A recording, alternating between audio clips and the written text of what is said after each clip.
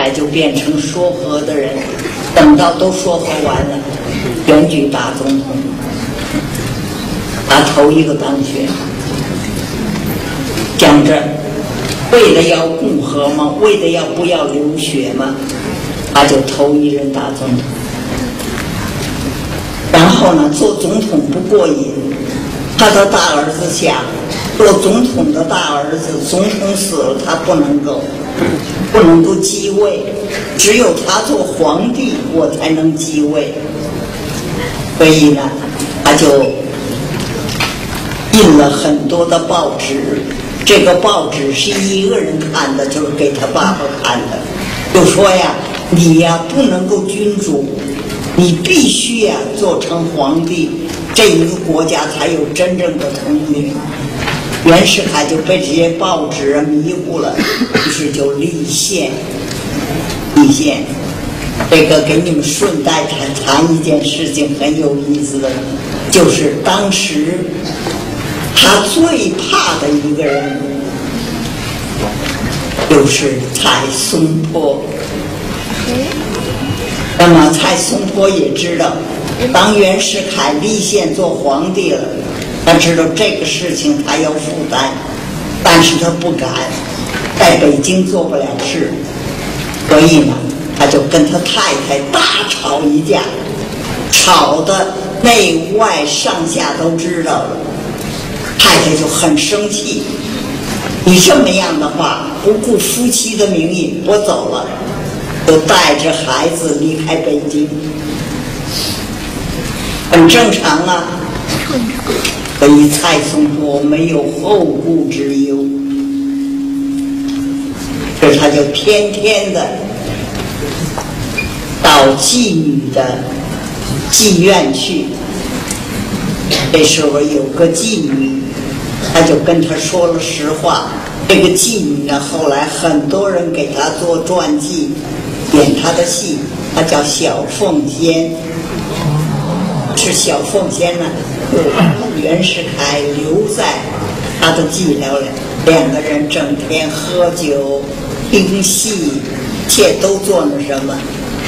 蔡松坡的太太全家都走了，他整天沉迷酒色。给袁世凯说：“这人没什么出息，不必防备他了。”结果呢？他看看防备他的人慢慢松了。有一天，小凤仙把他偷偷的，嗯，他就直奔云南。海鄂宣布云南独立，反对袁世凯。这一档事儿，他一宣布，各省响应。所以袁世凯的皇帝只做了八十一天，他只好退他一退位，没有几天他就死了。于是呢，接着他的人来，使各省的不服气。所以每一省，当我小时候的时候，每一省有一个军人把持政政治，我们称他为军阀。这个军阀呢，一直到首位，我们称他为国父的孙中山先生，他说一定要把这些军阀都灭掉，让中国再统。这就是国民革命军北伐。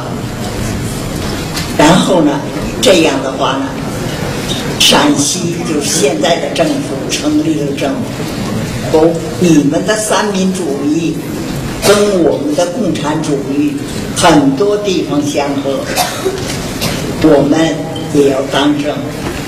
于是呢，国民军跟共产军就打起来了。在这一打起来，内战呢是国民党，国民军败退，就退到台湾。